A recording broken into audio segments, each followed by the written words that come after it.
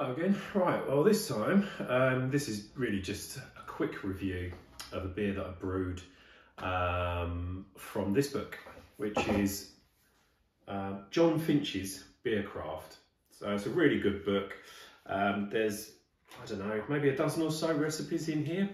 And conveniently, uh, these are all available on the Malt Miller website as pre-weighed recipe kits. So you can just go on there, if you search for Jon Finch, um, you can buy the pre-weighed kit essentially. They'll weigh out all the ingredients according to this recipe and it arrives all nicely in a box. So um, double handy. Um, this is actually Tiny Rebel Urban IPA. Um, caught my eye, fancied brewing it. It looked like a nice kind of citrusy, old school IPA type thing. Not too strong. Um, I think it worked out about 4.7%. I keyed all this recipe into Brewfather um, and worked it all out for my equipment. So I did this brew in a bag um, using a 35 litre kettle. Um, and yeah, the recipe is basically pale malt, some carapils, crystal 150, Munich and wheat. So as I say, you can order this all on Malt Miller, it all comes all in one big bag. Um, the hops used are Columbus at the start for bittering, um, then there is a series of Chinook at 15, Cascade at 10, Columbus at 5, Chinook at 5, and then some Cascade at Flame Out. And it's dry hopped with Chinook and Columbus. So sounds nice and citrusy, a bit of dankness there from the Columbus. Um, it came with, oh, it says here a pack of WLP 007, which I think is um, uh, just US ale yeast top of my head, but I can't remember what he came with now. It might come with US-05 um, in the box. So yeah, if you've not seen this book before, it's worth checking out. There's some good recipes in here, peels and um, yeah, and there's a uh, Saison, California Common, um, there's the intensely hot lager, which I think is from uh, the Hells uh, Camden Town Brewery. So yeah, really good book. All right, so um, I brewed this a couple of months ago. It's been in the shed conditioning. Um, so this has just come out of the fridge now actually, so it should be uh, nicely chilled. Yeah, so no brew fittage. I couldn't be asked to be perfectly honest when I brewed it. I was in not a bit of a rush, but I was up against time, so um, I just had to get it brewed at the time, and um, yeah, so no footage to speak of.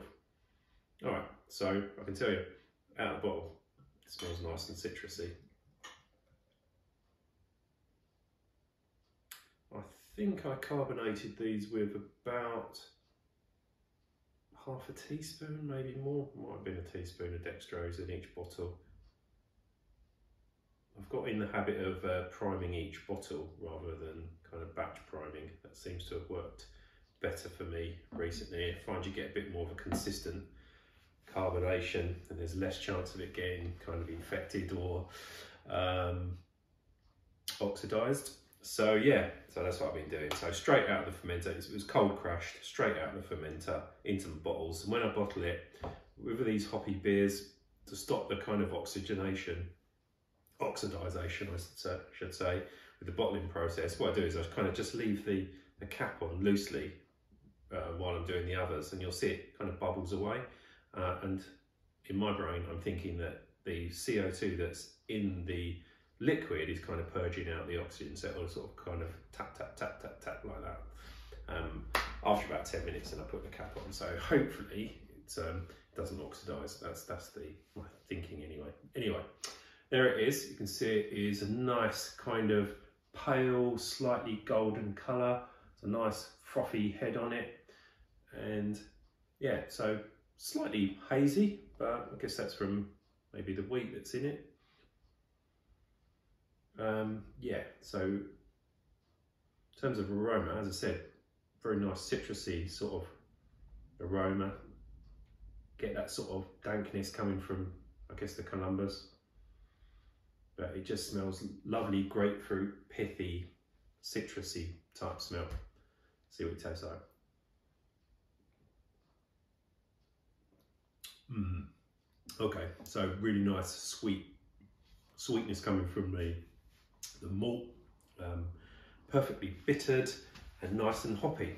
I mean, it's ticking all the boxes for me. It's exactly what I had in mind when I was kind of planning a brew. I thought I fancied a kind of nice citrusy pale ale. Um, that recipe caught my eye, and yeah, so luckily for me, it was all available on their Altmiller website, and uh, yeah, it's turned out really nice. Maybe not um, a trendy type beer at the moment. I don't know. Um, it's a bit more of an old school IPA, but I'm really enjoying that. Um, and yeah, I would recommend it. Check it out and um, have a look for this book if you haven't got it. I've got this off eBay for a couple of quid.